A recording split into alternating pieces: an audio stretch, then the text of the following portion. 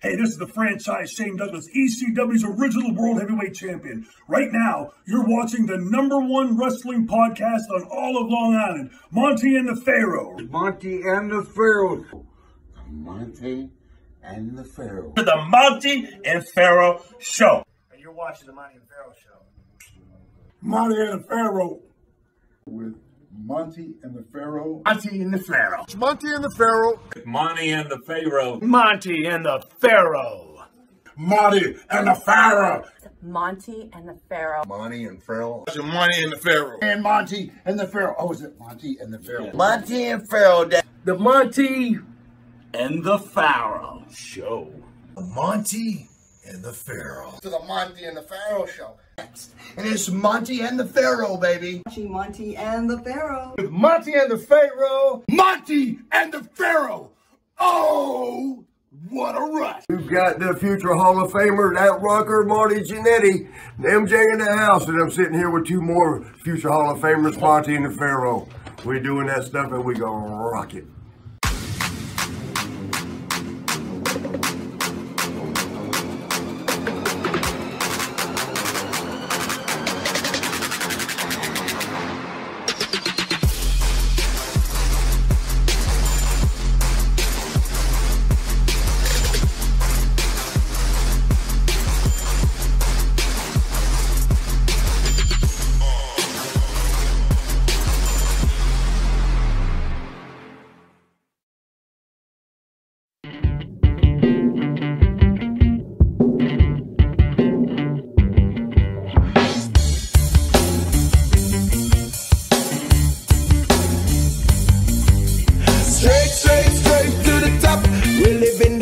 Not just dreaming it, we're doing it for real.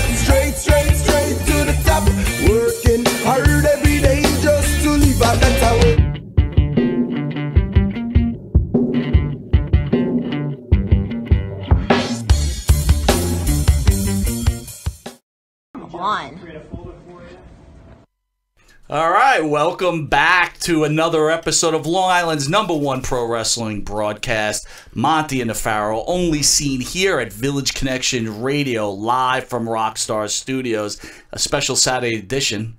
At the helm is none other than the owner of this illustrious station, Mr. Jim Savali. Well, good morning. Or good afternoon. To the right is the star of the show, Jimmy Farrow. Happy Saturday. And most importantly is WWE Hall of Famer, pro wrestling superstar, iconic human being, Mr. Tony Atlas. Tony Atlas. You know, I always wanted to meet him. Who's Tony that? Atlas? Tony Atlas? He's awesome. You'd love him. I think he's a prick. really? Oh, no way, God. man. He's a good guy. Yeah. He's good for nothing. Good for nothing. Oy. Well, we're going to find out in this interview, all right? Yeah, let's find out. So what we usually do is uh, Farrow's going to do his little shtick, and then we're gonna we're gonna rock and roll with you, sir. Sound good to me. All Sounds right, ladies and gentlemen, let's have at it our esteemed introduction for our esteemed guest. Born April 23rd, 1954, Anthony White, better known by his ring name Tony Atlas, American bodybuilder, powerlifter, professional wrestler, who's held multiple titles and championships in each of these sports. He's also known by his bodybuilding title, Mr. USA, a distinction he has earned three times. Also known as the Black Superman, as well as an alter ego named Saba Simba. F you, Vince. Anyway, he returned as an on. I have to. F you, Vince. He returned as an on-screen manager for WWE, which I personally loved, appearing on its now defunct ECW brand. And of course, he re-signed with WWE with a Legends deal in mid 2012. Residence. Where are you living at, sir? I live in Auburn, Maine. Okay, all right. Not far from here. No. All right. Multiple names, as I've mentioned that- previously. Shouldn't have really you shouldn't have really told the Pharaoh that, man, because you might just be visiting your home. a on bit of a regular mark. too close. A bit The of a only thing about Maine, once you go there, you don't want to leave. Really? I like professional wrestlers' feet. Nice. You're too. digging the cold weather? Oh, sorry. It's no worse than New York or Chicago. Well, that's why I'm not a big fan of New York thing. anymore. But But no, it, it, it's just the freedom. You got more freedom there. No, no traffic. Nice. You can buy whatever you want to buy. Fresh air. It- fresh air. what Nice. what does Tony Atlas nowadays do for recreation? Tony Atlas uh, is a direct support. I work with mentally challenged adults. I'm also is a, a, a personal trainer at the Auburn YMCA. I got a, a youth program there, and I work with uh, uh, young troubled kids. I do a lot of motivation speaking to uh, uh, to kids because uh, there's a lot of things that uh, that I was taught when I was young that we don't put into kids. Whatever my mother said, you reap what you sow. If you plant apples, you're not gonna get oranges. In my generation, there was two things that was planted in me. It was planted, just like you plant a seed in the ground. One was pledge allegiance to the flag every morning in school. I made a pledge to serve and honor my country.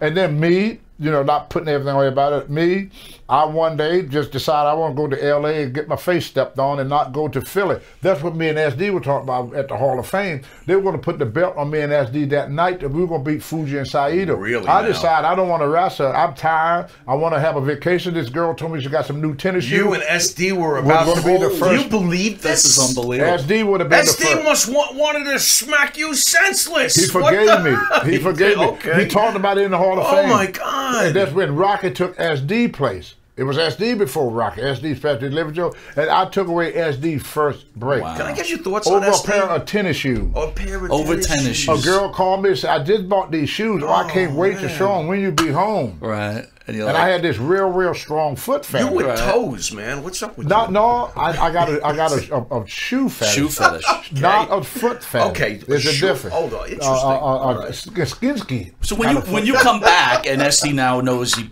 that, that that that you He finally had forgave you, right away he forgave it. No, it took a Oh, while. It, it took a while, but but later on, me and him we started talking, and he knew that I was crazy. You know, I, I, I was all messed up. You know, messing let, with let me let and me let me ask you a quick question. They they put they put the belts around you and Johnson, Right. which Yeah. in the day was huge. Yeah. I, I could remember that day like it was yesterday. Both of you guys. What was your problem with uh, Rocky Johnson? Because the rumor has it is you guys just couldn't get along and they had to they had Well, to take me and from you. later. That's what I thought at first, and I say some horrible things about Rocket that I take back now. But once me and Rocket was able to sit down and talk, But what was the original beef? What was the problem? Well, me and Rocket never had a chance to to bond. Now think about it. We had the belt for almost a year, and we teamed up three times. Yeah. Why? you, Why, That's by what the way? SD used to say all the time. He said, "Y'all the only guys that put the belt on, and they never promoted it." Why do you think that was? Senior put the belt on us. Oh, Senior made that decision. Junior took it off. So Junior just didn't like it and didn't use Well, it. Junior was not in charge till '85. Senior uh, died in '85. Gotcha. We won the belt in '82. Gotcha. Understood. Right? Wow. Yeah. So it Senior- sounds to me like Junior senior- just didn't like it, and It wasn't Let it his. sit. Well, it wasn't his creation. That's why when you go in, when I went back, Vince Senior Jr. never used, never booked Tony. I was doing this. For the WWF then the same thing. I was doing no work. In fact, I did less. And the owner at that time said, "I have to make an example of you, of all the people." See, so I, I learned long time ago that that people say no, it don't matter. Yeah, they does. Yeah, yeah, they does. To not to everybody, but in certain situations, it, it, it is done because it's just something about human nature. You know, it in all of us. You know, we got this certain human nature that we pull for one side more than we pull. If you're Democrat, you pull more for a Democrat, and nobody on the Democrat side could do anything wrong, and everything that go wrong is the other guy's fault, and I got nothing to do with it, even though I'm working too. You know, I'm there. You know, mm-hmm. I'm part of it, but I don't got nothing to do with it. Well, what the hell you doing there if you ain't got no nothing to do nothing? You know, go home if you ain't got nothing. You know, if you ain't involved in nothing, what you there for? But anyway, and then the, it's the same, you know, on the other side. So wrestling pretty much the same way. When the crap hit the ceiling, you know, if you're not connected with in with the right people, or if you're not packing the houses, then the guys that pack the houses, you know, they, you can get away with they, what they want. The guy that don't pack the house, he ain't gonna get away with nothing, and so on. Yeah, but you know, at that time, you and Johnson are tag team champions, which is, by the way, one of the most important matches if in the history of wrestling. But, if you look at all the matches during that time we had that belt that Mhm. we had together, SD Joe told me something. He was laughing. He said, "You know, y'all two guys are the first two guys I seen that had that belt. They didn't make no money with it. You go back through the computer. I asked anybody out there. They look at all the matches me and Rocky had to defend that belt It's hard to find. Because we had nothing. Yeah, but yeah, but Except I- when we won it, we But lost. Rocky kind of blames you for no showing No, well- events and doing Well, all no, right. it wasn't so much. It wasn't so much that you know. Uh, it was. He said you wouldn't go to the smaller towns, you know. So he, you know, maybe he thinks Well, that's there not was true. money to be drawn. Well, well, no, that that that is not true. Uh, why would I come back and screw up? Why would I do that? I gotta be a complete idiot. That's not Yeah, true. that's Rocky Johnson That- talking. I have no I- idea, right? And like I said, it always the other guy. Yeah, I got you. No matter who you talk to. When you read my book, one thing that Scott Teal told me that, that he liked about my book, he said, Tony, you the first person that I would write a book for like this. He said, why is that? This, my statement in my book. Thousands and thousands and thousands of people helped Tony Atlas to get on top. Thousands of people helped Tony to get on top. Only one person helped Tony to fall to the bottom. Tony Atlas himself. I'm the captain of my own ship. When I came back, because I was with, uh, I came back uh, from from California uh, and went back to work. They put the, the title on me and Rocket. I tried everything in my power to make that thing work. I didn't miss no show. Chief Dave Strongbow bagged them, bagged them to put SD on the show with us to make sure I get to the show. Rocky was the transportationer. Mm. I had to depend on Rocky for a ride. He was the man with the wheels. Right. I just flew in from California and went to work. I ain't had a car. Mm. See, so everybody want to blame their mistakes on Tony Atlas. It's easy to do to blame somebody else for a decision you make. I, I take full responsibility for everything I ever did, but I'm not going to own up to something that I didn't do. No, I didn't miss any shows. They got records, you know. You look it all up on the computer. Everything's on the computer. If I didn't miss a show, how come my name there? If I wasn't there. You know, that's a good point. That's right. You know they got records of all this stuff, man. You can get out and tell all the lies you want today, but they got a thing out here today with what is good about the internet called fact check.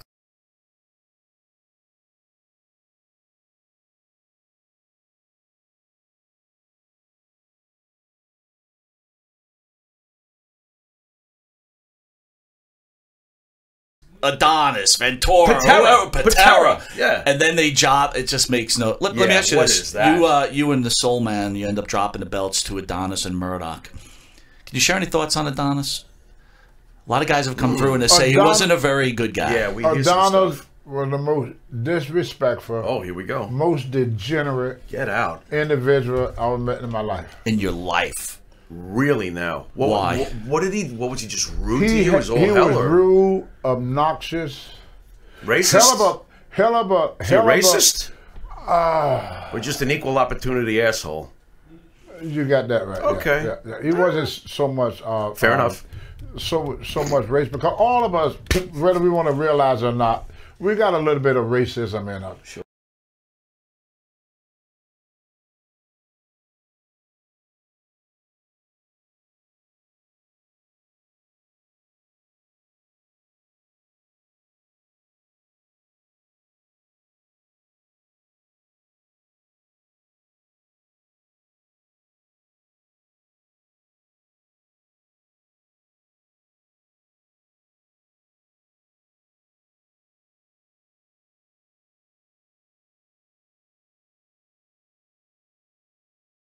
Uh, Jimmy Snuka and Nancy Argentino. Did you know anything that went on in that situation? I wasn't there. I Were you close with Snuka at all? Oh, you- me, oh, I, I love Jimbo. I still like him. I, I like Jimbo a, a, a whole lot. well, what did you hear about the situation? How's that? I'm not asking whether you know. Just what did you hear, and did Jimmy ever talk to you about anything? No, I me and Jimmy never discussed that. You know, uh, you know, we really never did uh, discuss about what happened with him and that girl. I, I knew that they was uh, were dating for a while, and uh, my what, what, what was she? My I think my second or third wife was used to date him. You know, but uh, there was probably about maybe twenty different stories went out on that about what what happened with that girl. But I think the a guy called me. He's supposed to be what called a DA guy Mhm. from the district attorney. Right. Probably, you know, when they want to reopen the case stuff, Sure. he, he called me. He asked me uh, uh, uh, questions about it, but uh, he said that what the court papers say and what Jimmy said in his book don't match, and that's why they're going to wanted to reopen the the case. So that's going to be kind of like a, a OJ mystery in the rest of the world for many many years. the only person that really know what happened in that room was Jimmy and that girl. Mm. I don't. Nobody else was around when it happened, And they're both gone. and they're both gone. Yep. So you know you're going to hear 101 story of speculation. I, I even repeated some of the speculation, you know, which I stopped doing because it, I, you know my wife, you know, God bless her, she said you got to stop repeating what people say when you, you wasn't there, you know, because. Well, in shit. the wrestling business, I, I keep forgetting myself that guys love to exaggerate. They, they want to be a part of it. I think everybody likes to exaggerate, man. Everybody do that. Everybody. It's not just wrestling. Okay, yeah, and, and so I, got to be careful not to exaggerate and, and put myself into something just to be part of Well, it. I don't want you to speculate, but you're kind of Yeah. blowing this next question out. Uh, Well, what are your thoughts on the. What are your thoughts on the Benoit murders? Now that's another one. See, I was in Maine. That was in Texas. That's another one that I used to speculate on, and I stopped You guess you speculating. no more speculating. no more speculation. yeah. You know, everybody's a freaking psychologist now. But for a while, Tony Atlas thought he was. You know, you could find 101 tapes of me saying that. Yeah, you know, I know whatever. You know, I went to Lee, you know, Lee Junior High School, and I almost passed the sixth grade, but I know this, and, and I have done that. I have done that, and I got to stop doing that. So no more speculating. No more speculating. I mean, I well, right now he won't, but I probably tomorrow I'll probably speculate again. Well, but as Tony Farrow, you're not speculating. No, Tony Farrell don't speculate. All right, that's all. That's all I want to know. You heard it here. Let's Lock the fire, baby. look. He's got the Farrow. Oh, nice. I like that.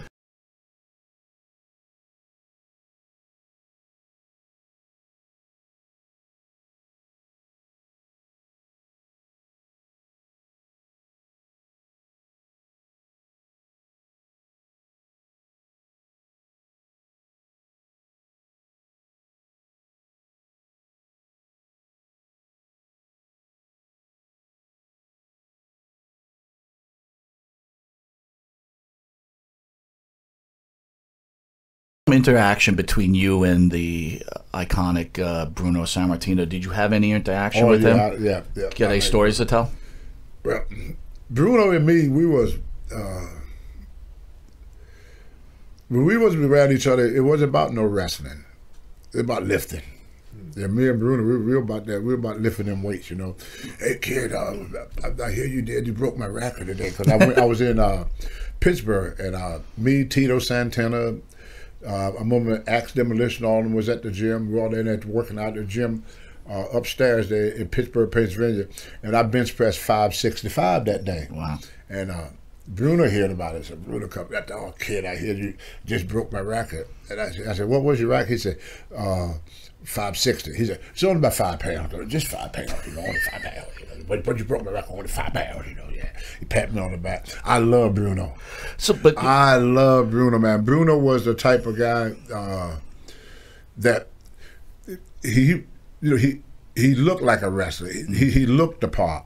He, he was a wrestler. You know, he, he was legitimate. That's what I was saying about when you got a guy sitting in the office writing a strip uh, for you, and you got to go out and play something that you never had no experience at in your entire life.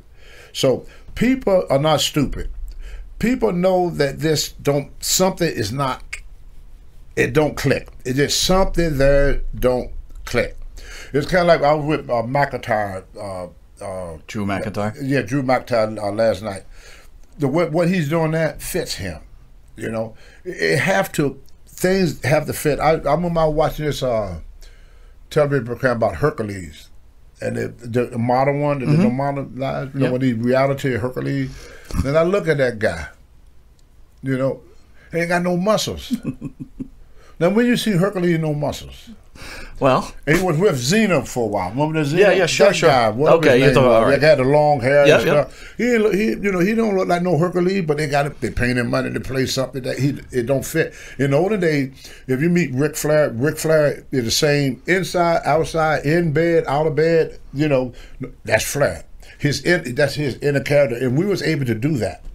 We were able to release that inner character Right. in us. And you can't create. I can't make you what you not. You know, I can't make him what he's not. I can't make him what he's not. I can't make nobody. If you're not that, you just ain't that. You know, Mm-hmm. that's why when they put belts on certain people, I, I look, I say, come on now. I ain't gonna call no name, but come on now. Yeah, go ahead. You could call some names. No, come on. Yeah, I ain't gonna Should I call him for you? No, because my I, Kofi person- Kingston? the- well, that you know, uh, but Finn Balor? you rough. I could keep going. You rough. You rough on him, man. Yeah, he rough. on- By the way, this is on only him. the views of Monte from Monte and Tony Farrow. Tony Farrow had is not agreeing with what I'm saying. I'm just throwing names out there. I, I don't agree with you. I just said that. I, I, another thing that I learned in the business, you know, the man is not here to defend himself. So you know, I, I kind of feel, that, you know, but regardless, what I'm saying is that it's- it got to fit. You know, pe- people get tired of being screwed.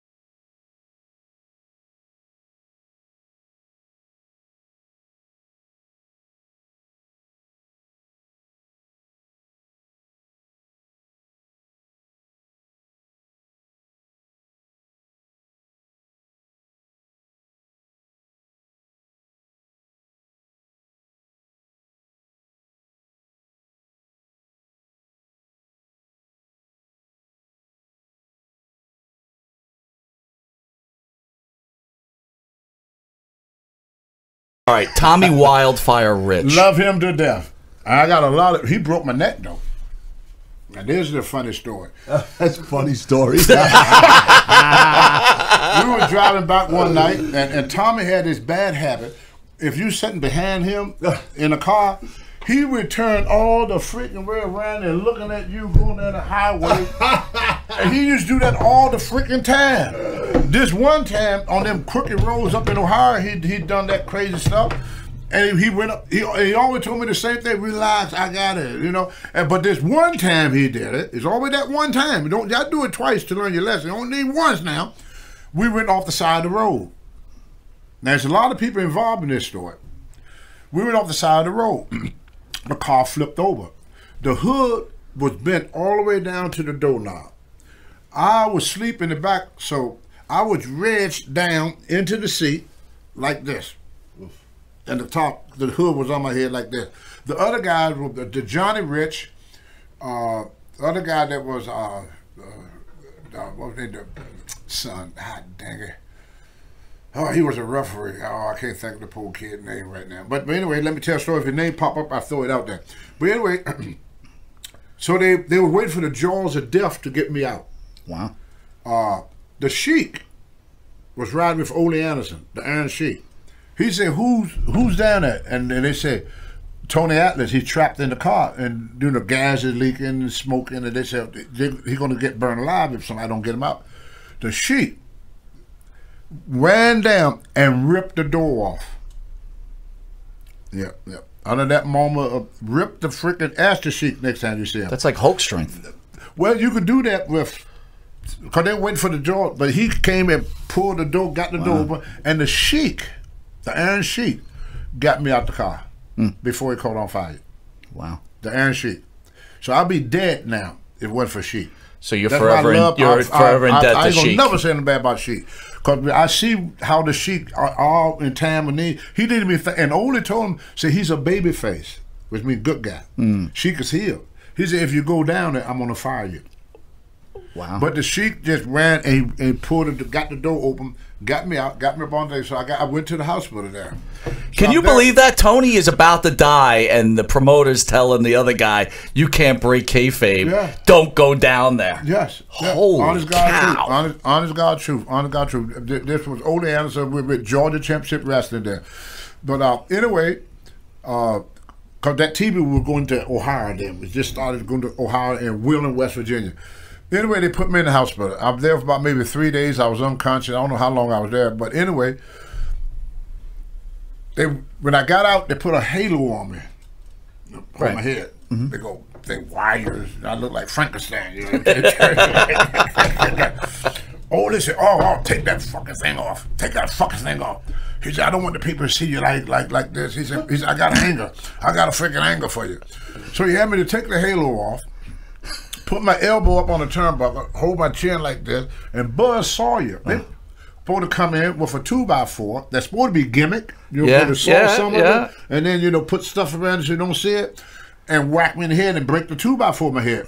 Buzz, who was always But let's say you okay with Buzz doing that? I mean, that's a scary situation well, I didn't know him then. We didn't know each other. You got to realize we young. I didn't know him A from apple butter. I didn't know he gonna come in with the uh, with the two by four, hit me in the head with it. But Buzz was so stoned that morning, he forgot to saw it a little bit. Mm. So it was a, nothing wrong with that two by four. And I got to just coming out the hospital with this halo, and I'm up here just like this, and they come in here and he hit me. Well, I love it. This is incredible. my good friend here asked me to do some of the guys that have been on the Monte and Pharaoh show, and I try my dumbbell best to catch everybody character. If you notice, Tony Atlas taking up all the room as usual. Because of the biggest head. yeah, I got the biggest head there, you know. Or, or I'm sorry, the biggest body, but the smallest yeah, head. Yeah, yeah, the smallest head, but that fit Tony Atlas. That's Tony Atlas, the biggest body and the smallest head. Like years. But then I try to put some of my friends in, and, and uh, you know, this is a fantastic show. You know, I, I, I was telling the guys earlier, there are just as many wrestlers that have been on this program that have been in the WWF or WWE. This is an amazing, amazing uh, thing they got going here. You know, a lot of us guys, like some of the guys that are that I travel with and wrestle with, like Bundy. Uh, We were talking about Bundy not too long ago. I was sitting beside him. Now Bundy is no longer here. But the Pharaoh could say that, that that at one time y'all watched the Monte and the Pharaoh show, and you saw him because of what these guys do. So this is a great thing, uh, you guys, that what, what they do. I mean, how, how can you sit and hear in depth stuff about Tony Atlas if it wasn't for the Monte uh, uh, uh, and Pharaoh show? You know, how, how can you hear stuff about the Iron Sheik, Tito Santana, Greg Valentine? I mean, every wrestler on here had, had lived a different lifestyle, a different story, different territory, different nationalities Spanish, black, Caucasian, Puerto Rican, you know, Indian. You know, you got like it's like a freaking United Nation here. You know, everybody got a different upbringing, a different story, a different experience, and they all have been on the Marty and Pharaoh show. So I don't know if y'all appreciate what y'all seen, but to me, you know, I knew a lot of these guys, like Andre the Giant, and I, I knew guys that uh, that have been on this show that's no longer here to tell their stories anymore. So if you get a chance to see one of us guys, take advantage of it. We ain't gonna be here forever. We the last of the Mohicans, the the end of the wrestlers. We was not sports entertainers. We was wrestlers, and we wouldn't put nobody over that couldn't beat us in real life. We try to not screw the people and show the people something that we were not. The Tony Atlas you seen on TV is the same Tony Atlas you're gonna meet in person. The the Ric Flair you meet on TV is the same Ric Flair you're gonna meet in person. Bundy was Bundy up until he died. Razor Ramon, we we stayed Razor Ramon. They, they they was not character. The character was the person themselves.